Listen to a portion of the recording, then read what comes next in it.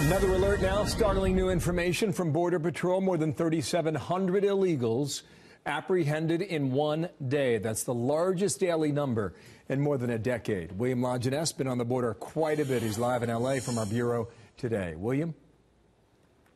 Well, Bill, right now you have a perfect storm of factors coming together. Many in Congress and the media are in denial, saying these numbers are fake news. And there's no deterrent, no consequence, no jail, no fine, no deportation. There's also an unlimited supply of Central Americans making $5 a day when they can make $5, $15 an hour here. Just last week, agents released 1,000 migrants in San Antonio, 2,200 McAllen, 2,000 in El Paso. The moment they've crossed the center of that Rio Grande, they have violated our law and they've entered the country illegally. We have an obligation to interdict anybody or anything that crosses outside of port of entry.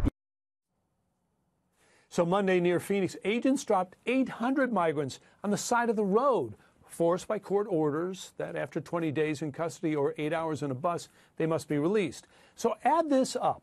Officials expect 100,000 apprehensions in March alone. That is like filling a football stadium.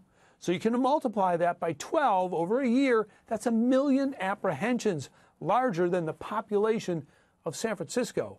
Most arrive destitute. Their children will attend school, receive free breakfast and lunch, and in many states qualify for subsidies lawyers, health care, child care, food stamps, housing, and cash. Still, many in Congress oppose prioritizing defense money to improve border security.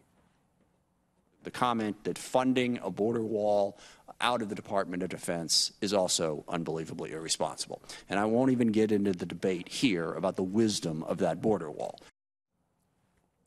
So Secretary Nielsen is in Central America today trying to hammer out a deal. There's a new caravan 2500 bill coming north there in Chiapas right now, but unless Congress acts, which is unlikely, it's going to get worse before it gets better. William La Jeunesse, stunning number in one day. Thank you from Los Angeles.